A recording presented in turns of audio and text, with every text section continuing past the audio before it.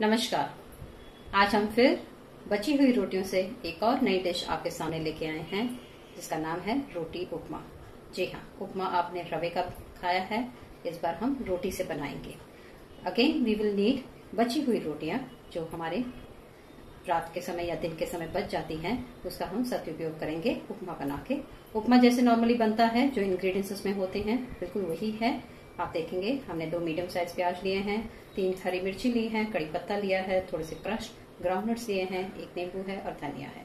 तो सबसे पहले हमने रोटी को चूर करना है, उसका हम मिक्सर ग्राइंडर का इस्तेमाल करेंगे, जिसमें इसके पाउडर या फाइन ग्राइंडर्स बना लेंगे।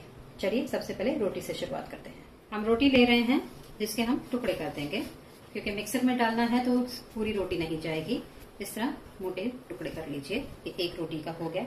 सिमिलरली बाकी जितनी भी रोटियाँ आपके पास हैं, दो या तीन, मेरे पास रफली छह रोटियाँ हैं इस वक्त।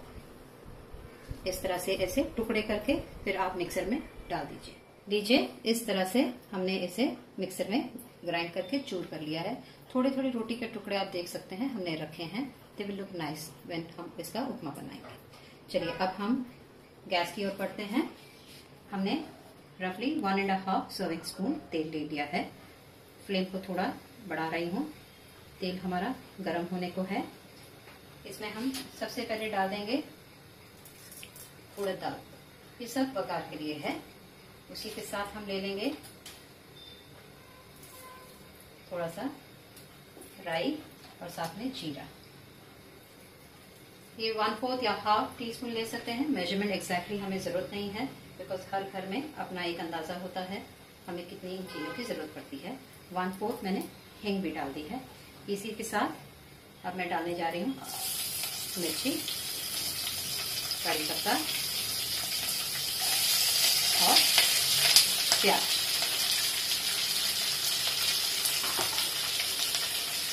इसे थोड़ा सा हम पिंक कर लेंगे और फिर बाकी हम हमारे मसाले डालेंगे। आप देखेंगे कलर चेंज हो गया है। अब इसमें हम हमारे बेसिक मसाले डालेंगे। I start with red chilli powder half spoon haldi one four garam masala one teaspoon अच्छे से मिक्स कर लीजिए। अब इसी के साथ नमक स्वाद अनुसार होगा। I will be adding one teaspoon mix कर लीजिए, थोड़ा स्लो रखिएगा ग्लास गैस को। अब इसी में हम, हमारी जो रोटियाँ हैं, जिसे हमने चूर किया हुआ है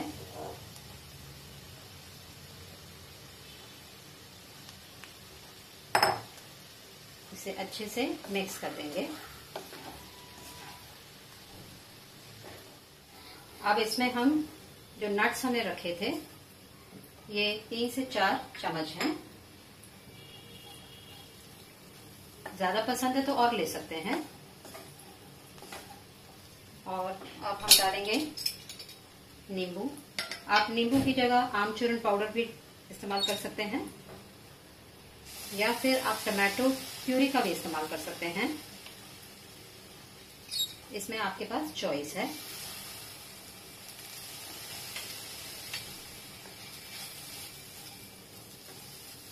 अच्छे से मिक्स हो जाना चाहिए। अब इसे थोड़ा सॉफ्ट करने के लिए उपमा काफ़ी सॉफ्ट होता है। सो हम इस पर थोड़े से पानी के छींटे डालेंगे। पानी डायरेक्टली नहीं डालना है।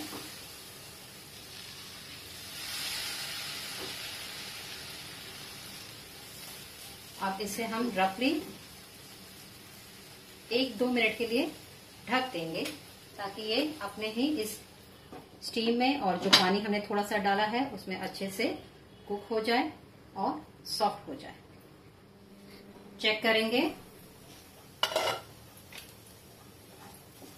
जी हाँ काफ़ी अच्छा है। अगर आपको ऐसा लगे कि नहीं, और थोड़े पानी की ज़रूरत है तो आप दो तीन छीटे और मार सकते हैं इस पर। मैं इसे इसी स्टेज पे छोड़ रही हूँ। इट्स ऑलमोस्ट डन इसे हम गार्निश कर रहे हैं कोरिएंडर से। नीचे हमारा रोटी उपमा तैयार है। गैस बंद कर रही हूँ। इसे एक मिनट के लिए इसे अपने ही स्टीम में रखेंगे।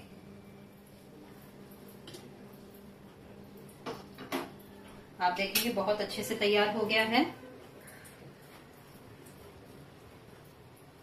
इसे हम सर्व कर देंगे। वैसे साउथ में इसका एक और नाम है, जिसे कहते हैं रोटिलू पोणे रोटिलू यानी कि रोटी और पोणी यानी कि वगार।